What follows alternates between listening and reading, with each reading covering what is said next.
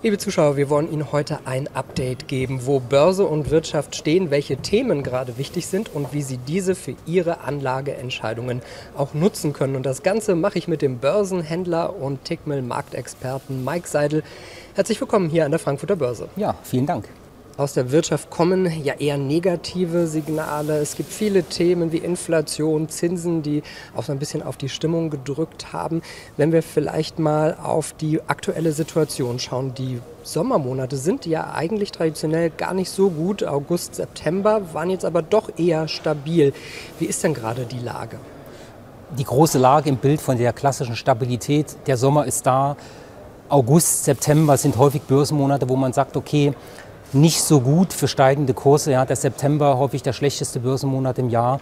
Ähm, und wir sehen es auch jetzt aktuell, die erste Septemberhälfte ist meistens noch die stabilere. Dann kommen Entscheidungen in die Unterseite zunächst erstmal rein. Aber was wir momentan sehen können, ist, dass wir doch eine gewisse Stabilität in Bandbreiten haben. Das heißt, wenn wir das uns mal auf Indexbase, äh, auf Indexbreite anschauen, der DAX beispielsweise hat eine relativ große Schwankungsbreite, in der bewegen wir uns momentan auch aktuell eher auf der Unterseite.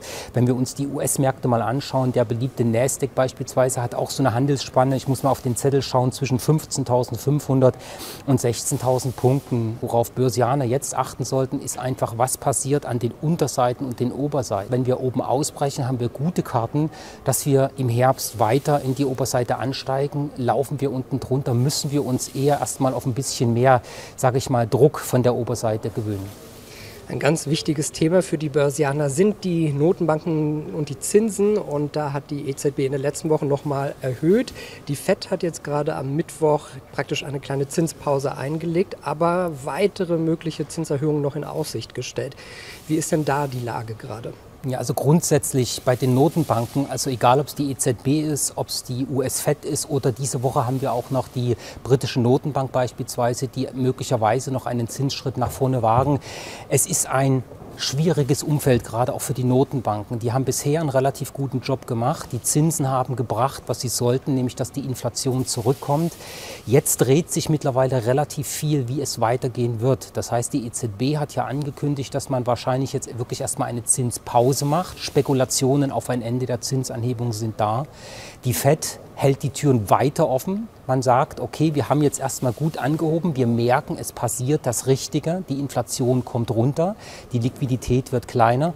Aber auch dort hält man sich die Tür offen, um die Zinsen doch vielleicht nochmal zu erhöhen. Und jetzt aktuell haben wir so ein bisschen die Spekulation, was wird in 2024? Gibt es dort möglicherweise vielleicht schon erste Zinssenkungen? Ja, und die Notenbanken mussten ja eben auf diese hohe Inflation reagieren. Und auch die FED hat ja gesagt, dass sie wahrscheinlich äh, noch eine ganze Weile mit den Zinsen oben bleibt, um die Inflation auch weiter zu bekämpfen. Äh, für nächstes Jahr wird eine Inflation von etwa 3 Prozent so in Deutschland und der Eurozone erwartet, also immer noch auch über den Werten, die man eigentlich ja erreichen will, von 2 Prozent. Mhm. Ähm, warum ist die Inflation auch noch so hoch in den USA und in Deutschland?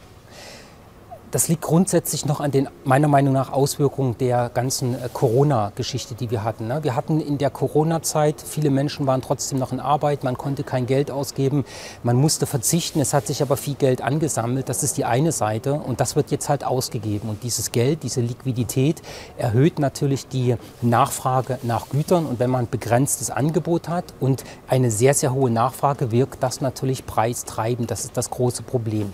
Wir haben diesmal allerdings noch einen zweiten Fakt hinzubekommen, dass wir nicht nur eine hohe Nachfrage haben, sondern durch die Problematik auch in China, die haben ja viel, viel länger restriktiv gearbeitet als der Rest der Welt, haben wir einfach auch massive Einschränkungen der Lieferketten gehabt. Und um diese Lieferketten wieder aufzubauen, das wird sehr, sehr lange dauern. Und das ist ein Punkt, wo wir jetzt zusätzlich noch die Inflationstreiber hatten. Und für die Zukunft wird es jetzt wichtig sein, wie sich das Ganze abbaut. Das heißt zum einen, die Notenbanken wollen natürlich die Liquidität kontrollieren durch die Zinserhöhung. Und auf der anderen Seite haben wir jetzt das Thema mit China. Ja, und wenn man mal ein, ein optimales ähm, Szenario zeichnen würde, wäre das, dass die Notenbanken nicht mehr die Zinsen anheben müssen, weil das ist auch ein sehr belastendes Thema für die Wirtschaft und auch für den privaten Bereich.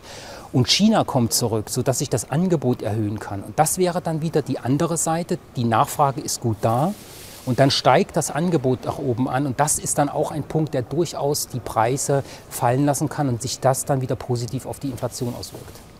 Die Börse hier spiegelt ja praktisch auch die Situation der Unternehmen wider, wie erfolgreich die sind, wie gut es läuft. Aber da sehen wir praktisch weniger Aufträge, die reinkommen, Fachkräftemangel, also schon viele Herausforderungen.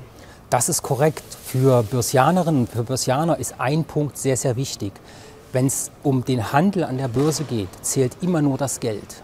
Das heißt, ein Unternehmen, was gute Geschäfte macht, was gute Gewinne macht, hat prinzipiell extrem gute Chancen, im Kurswert zu steigen. Einfach weil die ganzen Großinstitutionellen sagen, wir wollen Unternehmen mit intakten Wachstumsstories haben. Das ist mal die Basisannahme. Und nun sind wir allerdings in der Situation, wie du das gerade auch gesagt hast, es ist schwierig. Wir haben in Deutschland und auch in den USA beispielsweise Fachkräftemangel. In den USA sehen wir das sehr, sehr stark, wie breit die Spanne zwischen äh, sag ich mal, der arbeitssuchenden Bevölkerung und den offenen Stellen ist. Das ist ein ziemlich großes Gap. Das ist bei uns in Deutschland ähnlich. Und das ist ein, das ist ein Problem für die Unternehmen. Denn wenn ein Unternehmen wachsen möchte, es findet allerdings keine Arbeitnehmer, dann kann das Unternehmen mehr oder weniger nicht skalieren. Und das kann sich durchaus auch mittelfristig negativ auf die Bilanzen auswirken. Das ist meiner Erachtens allerdings ähm, ein, ein, ein, Nebenschauplatz, der hier da ist, äh, den die FED auch ganz stark im Blick hat. Weil die FED sagt ja, wir brauchen einen schwächeren Arbeitsmarkt. Die EZB sagt, wir brauchen einen schwächeren Arbeitsmarkt. Warum?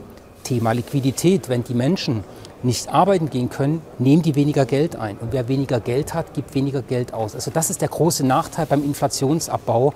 Wenn die Arbeitslosigkeit doch mal etwas stärker angreift oder ansteigt, dann ist das schwierig im Endeffekt für die Liquidität, für die Menschen, die einkaufen gehen, weil die treiben ja auch viel die Nachfrage an und dann natürlich auch für die Firmen. Und in diesem, in diesem Wirrwarr befinden wir uns jetzt gerade wo wir einerseits sehen, okay, die Inflation ist noch sehr hoch, weil die Liquidität hoch ist. Die Unternehmen wollen mehr Leute in, in, in die Firmen reinbringen, haben aber Fachkräftemangel. Auf der anderen Seite merken wir aber auch in Deutschland, die Arbeitslosenquote steigt auch mit an. In den USA haben wir das auch zuletzt gesehen. Und das wird eine Mischung sein, die sich irgendwann bis auf einen Punkt zusammenbringt, wo man sich mittelt quasi und wo man dann weit genug runtergekommen ist und wenn dann im Endeffekt der solide Boden wieder da ist, dass die Unternehmen beispielsweise auch viele Aufträge abgearbeitet haben, dann haben wir dann eine Bodenfindung in dem Bereich und dann wird die Wirtschaft anfangen, neue Strukturen auch auszubauen und das ist das, der Drehkreis, den wir momentan haben. Schauen wir mal auf Öl. Der Ölpreis ist ja in den letzten Monaten kräftig gestiegen, so zwischen 90 und 95 Dollar mhm. pro Barrel. Ja. Und einige Experten sagen schon, die 100 Dollar sind auch möglich. Ja, da bin ich auch der Meinung, ich hatte das vor kurzem auch in meiner Sendung bei Tickmis tägliche Trading-Ideen, eine Ölanalyse. Und das Thema Ölpreis ist auch ein, ein extrem wichtiges für die Wirtschaft. Ne? Das ist das schwarze Gold, das ist der Schmierstoff für die Wirtschaft. Viel Industrie braucht das Öl, der gesamte Transportsektor braucht Öl alles äh, auf unserer Welt, was Dinge herstellt, wo Energie benötigt wird, arbeitet ganz häufig mit Öl. Und da ist Öl natürlich ein, ein sehr, sehr wichtiger Faktor. Und das, was momentan den Ölpreis treibt, sind zwei Faktoren. Der erste Faktor ist natürlich das Thema der OPEC. Die OPEC sagt ganz klar, wir machen eine Förderkürzung. Die halten an der Förderkürzung fest. Dann haben wir noch das Problem mit Russland, die ganzen Einschränkungen. Also wir haben einen künstlich sag ich mal, verkleinerten Ölmarkt. Das, das Angebot ist künstlich verkleinert und das wird wohl noch locker bis zum Jahresende so weitergehen. Und das bringt natürlich Druck auf den Ölpreis. Also die OPEC wollte initial Kurse über 80 Dollar sehen. Ja, und jetzt sind wir schon äh, über der 90 Dollar Marke. Und das hat jetzt dazu geführt, dass wir aus der charttechnischen Sicht Kaufsignale bekommen haben, wo wir durchaus auch Luft bis 100 Dollar haben. Und dieses gesamte Konstrukt kann durchaus auch fundamental untermauert werden. Denn wenn wir jetzt sehen, dass China zurückkommt an den Markt, dass die anfangen mehr zu produzieren, die fangen an mehr zu verschiffen, brauchen die natürlich auch mehr Öl. Das ist das eine. Der zweite Punkt, den wir beim Öl auch, beziehungsweise bei der Nachfrage nach Öl auch haben, ist das Thema der Unternehmen per se an sich. Also wenn wir uns das Bild mal anschauen, da haben wir ja auch eine Zweiteilung zwischen den USA und bei uns in Europa oder in Deutschland. Wenn wir dann nur mal beispielsweise schauen auf das Thema ähm, Unternehmensvertrauen, bei uns in, in, Deutschland haben wir auch ähm, äh, so das IFO-Geschäftsklimaindex äh, und so weiter und so fort. Und da ist es ja so, dass wir bei uns in Deutschland schon noch ziemlich schwach unterwegs sind. Definitiv auch unter der 50-Punkte-Marke, das heißt Schrumpfung. In den USA auch. Aber wir sind zuletzt in den USA wieder ein bisschen positiver gelaufen. Und wenn sich dieser Trend fortsetzt, muss das jetzt nicht zwangsweise heißen, dass die Inflation stark ansteigt, aber die Nachfrage nach Öl steigt dann natürlich wieder mit an. Und das sind fundamentale Preistreiber, die durchaus Luft kurzfristig auf 100 Dollar für Öl machen. Du bist ja Börsenhändler. Kann man sich gegen so einen Preisanstieg auch absichern? Selbstverständlich. Also das ist auch das, was ich in diesem Jahr schon des Öfteren gemacht habe. Und zwar haben wir Privaten ja mittlerweile auch wirklich die Möglichkeit, an den Ölpreisbewegungen zu partizipieren. Das kannst du über diverse Assets machen. Ich zeige das morgens bei Tickmill auch immer. Du kannst es als privater Trader im ganz Kleinen in sehr, sehr guten ähm, CFDs machen. Da ist Tickmill auch ein wirklich sehr, sehr guter Partner. Du kannst auch die Futures traden. Da gibt es mittlerweile auch ein große und kleine Futures, also auch für die unterschiedlichen Kontogrößen. Und diese Märkte bewegen sich halt nach oben oder nach unten mit. Und da kommt es halt dazu, dass wir Privaten diese Dinge auch kaufen können. Und wenn du einfach siehst, dass an der, an der Tankstelle der Ölpreis steigt, dann denk einfach mal dran, schau mal auf den Ölpreis und wenn der anfängt zu steigen, brauchst du natürlich eine Handelsstrategie, aber da kannst du an den Ölpreisanstiegen wirklich mit partizipieren und das ist nichts für Zocker, sondern das sind ganz solide Anlagen. Jetzt haben wir schon über viele Details gesprochen. Vielleicht mal so generell, wie könnten sich Anleger jetzt momentan aufstellen, ihr, ja, ihre Strategie wählen? Ja, also das ist im, ich sag mal, im Allgemeinen wird immer so schön gesagt, stell dich breit auf diversifiziere. Das kenne ich auch noch aus der Bank, das habe ich als Bankkaufmann auch so gelernt, weil man sagt einfach, wer streut, der rutscht nicht. Das Problem dabei ist nur, wenn man es übertreibt, dann macht man sich die Performance kaputt. Das heißt, wenn ich zu viele einzelne Assets habe und zu viel ausrichte, wenn mal was passiert, habe ich das Asset, was steigt, falls die anderen fallen. Dann ist es natürlich auch so, wenn die Absicherung einen zu großen Teil einnimmt äh, und die Werte steigen, dann verliert natürlich die Absicherung an Wert.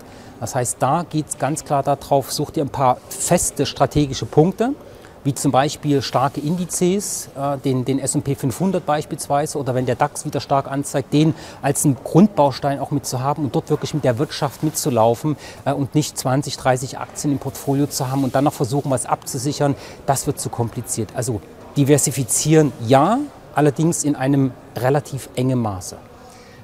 Also diversifizieren, aber man muss sich da schon eine Strategie ausdenken, dass man nicht zu viele Chancen liegen lässt. Richtig, genau. Also auch beim Diversifizieren gilt, das Timing ist schon wichtig. Das heißt, wenn du eine Outperformance erreichen möchtest, dann darfst du keinen Fondssparplan über 20 Jahre laufen lassen. Ja, das ist natürlich auch eine Möglichkeit, sein, sein Geld langfristig gewinnbringend anzulegen. Aber jeder, der so ein bisschen mehr haben möchte, braucht natürlich auch ein gewisses Markttiming. Das lerne ich auch in meiner Ausbildung in dieser Seite, weil das Markttiming ist schon wichtig. Das heißt, wenn du es schaffst, die Fundamentaldaten richtig zu lesen und dann in den Chart zu schauen, wann es für dich Zeit wird zu kaufen oder zu verkaufen, dann übernimmt der Chart das Timing. Also die Ampel, wie an der Straße, rot oder grün, anhalten oder weiterfahren. Diese Dinge siehst du dann im Chart und da kommt es drauf an. Sagt Mike Seidel, Börsenhändler und Marktexperte für den Broker Tickmill. Vielen Dank, dass du heute hier an der Frankfurter Börse warst. Und danke Ihnen und euch, liebe Zuschauer, fürs Interesse. Bleiben Sie gesund und munter. Bis zum nächsten Mal. Vielen Dank und viel Erfolg.